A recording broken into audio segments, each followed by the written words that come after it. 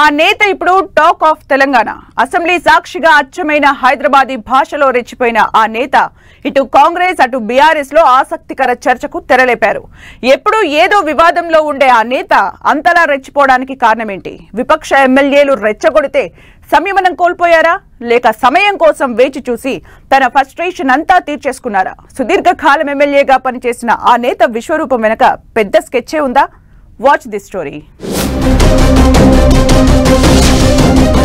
Khairatabad MLA Danam Nagender వ్యవహార శైలి రాష్ట్ర రాజకీయాల్లో హాట్ డిబేట్గా మారింది. గత వారం జరిగిన అసెంబ్లీ సమావేశాల్లో హైదరాబాదీ స్టైల్ అంటూ విపక్షంపై రెచ్చిపోయిన దానం ఎందుకలా మాట్లాడాల్సి వచ్చిందంటూ అంతా ఆరా తీస్తున్నారు. కాంగ్రెస్తో పాటు బీఆర్ఎస్ నేతలు సైతం దానం తీరుపై విస్తృతంగా చర్చిస్తున్నారు. బీఆర్ఎస్ నుంచి గెలిచి కాంగ్రెస్లో చేరిన దానం తన పాత పార్టీపై తీవ్ర స్థాయిలో రెచ్చిపోవడంపై రకరకాల చర్చ జరుగుతోంది. బయట కూడా ఏమనుకుంటున్నారా మీరు?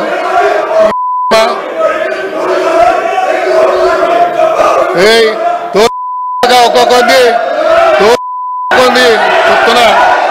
దానం వ్యాఖ్యలను రికార్డుల నుంచి తొలగించిన సోషల్ మీడియాలో విస్తృతంగా ట్రెండ్ అవుతూనే ఉంది. అయితే దానం తీవ్ర స్థాయిలో మాటల దాడి చేయడం వెనుక ముందస్తు వ్యూహం ఉన్నదని విశ్లేషిస్తున్నారు. బీఆర్ఎస్ నుంచి కాంగ్రెస్లో చేరిన దానం హైదరాబాద్ నుంచి మంత్రిగా ఛాన్స్ వస్తుందని ఎదురు చూస్తున్నారు మంత్రివర్గ విస్తరణ వాయిదా పడుతుండటం కాంగ్రెస్ నుంచి గెలిచిన వారికి మాత్రమే మంత్రి పదవులిస్తామని హైకమాండ్ చెబుతుండటంతో సీఎం రేవంత్ రెడ్డితో పాటు ఢిల్లీ పెద్దల దృష్టిలో పడేందుకే దానం అలా మాట్లాడారా అనే చర్చ జరుగుతోంది. తనలాంటి వారి అండ ఉంటేనే గ్రేటర్లో కారు జోరును కట్టడి చేయవచ్చనే సంకేతాలిచ్చేందుకే ఇంతలా రెచ్చిపోయారనే గుసగుసలు వినిపిస్తున్నాయి. మరోవైపు బీఆర్ఎస్ ఎమ్మెల్యేగా గెలిచి సికింద్రాబాద్ కాంగ్రెస్ ఎంపీగా పోటీ చేసిన తాను రిస్క్ చేశానని అందువల్ల మంత్రి పదవి ఇవ్వాలని హైకమాండ్ పై ఒత్తిడి చేయడము దానం మాటల్లో దాగున్న అసలు రహస్యమని అంటున్నారు. బీఆర్ఎస్ నుంచి కాంగ్రెస్లోకి మొత్తం పది మంది ఎమ్మెల్యేలు చేరినా అందరిలో కన్నా దానం ఒక్కడిపైనే వేటు కత్తి ఎక్కువగా వేలాడుతుందంటున్నారు.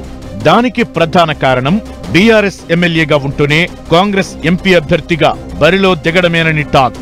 మిగిలిన ఎమ్మెల్యేలు టెక్నికల్గా ఎక్కడా దొరకకుండా తప్పించుకునే అవకాశం ఉన్నప్పటికీ దానం మాత్రం లోక్సభ ఎన్నికల్లో సికింద్రాబాద్ కాంగ్రెస్ ఎంపీ అభ్యర్థిగా పోటీ చేయడం ద్వారా పార్టీ ఫిరాయింపుల చట్టాన్ని ఉల్లంఘించినట్లు ఆధారాలతో సహా దొరికిపోయినట్లేనంటున్నారు అందుకే బీఆర్ఎస్ కూడా దానంపై వేటు కోసం ఇటు అసెంబ్లీలో పోరాడుతూనే అటు న్యాయ పోరాటం ఉద్ధృతం చేస్తోంది. గ్రేటర్ హైదరాబాద్లో బలంగా ఉన్నామని భావిస్తున్న బీఆర్ఎస్ ఖైరతాబాద్ ఎమ్మెల్యే స్థానానికి ఉప ఎన్నిక తెచ్చి సత్తా చాటాలని చూస్తోందంటున్నారు. దీంతో బీఆర్ఎస్ తనను మాత్రమే టార్గెట్ చేస్తోందనే ఫ్రస్ట్రేషన్ తోనే ఎమ్మెల్యే దానం బీఆర్ఎస్ నేతలపై అసెంబ్లీ రికార్డుల నుంచి తొలగించే స్థాయిలో బూతులతో విరుచుకుపడ్డారని అంటున్నారు. ఒకే దెబ్బకు రెండు పిట్టలు అన్నట్లు అసెంబ్లీలో తన వ్యాఖ్యల ద్వారా ఇటు కాంగ్రెస్ అటు బీఆర్ఎస్కు మెసేజ్ పంపాలనేదే దానం వ్యూహమా అనే చర్చ జరుగుతోంది. పార్టీ మారడం ఎంపీ అభ్యర్థిగా పోటీ చేయడంతో బీఆర్ఎస్ టార్గెట్గా మారిన దానం ఆ పార్టీ నేతలను కంట్రోల్ చేయాలనే ఉద్దేశంతో తనతో పెట్టుకుంటే హైదరాబాద్లో తిరగలేరన్నట్లు వ్యాఖ్యానించారంటున్నారు. అదేవిధంగా కాంగ్రెస్ కూడా తనకు మంత్రి పదవి ఇస్తే నగరంలో తన మార్కు చూపెట్టి పార్టీని బలోపేతం చేస్తానని చెప్పినట్లయిందంటున్నారు. అంతేకాకుండా సీఎం రేవంత్ రెడ్డిని లక్ష్యంగా చేసుకున్న బీఆర్ఎస్ పై ముఖ్యంగా రేవంత్కు కంట్లో నలుసుగా మారిన కౌశిక్ రెడ్డిపై మాటల దాడి చేయడం ద్వారా సీఎం ఆశీస్సులు పొందవచ్చునని దానం భావించి ఉంటారనే గుసగుసలు కాంగ్రెస్ వర్గాల్లో వినిపిస్తున్నాయి. మొత్తానికి మంత్రి పదవితో పాటు అనర్హత పిటిషన్పై ముందుకెళ్ళకుండా బీఆర్ఎస్ను కాస్త కంట్రోల్ చేయడమే దానం ప్లాన్గా కనిపిస్తోందంటున్నారు పరిశీలకులు. ఈ స్థాయిలో స్పీడ్ చూపిస్తే గాని తన లక్ష్యం నెరవేరే పరిస్థితి కనిపించకపోవడంతోనే అసెంబ్లీ అన్నది కూడా మరచిపోయి దూకుడు చూపించారంటున్నారు. ఈ పరిస్థితుల్లో దానం అంతరంగాన్ని కాంగ్రెస్ అర్థం చేసుకుంటుందా? బీఆర్ఎస్ తన దాడిని మరింత పెంచుతుందా అనేది చూడాల్సి ఉంది.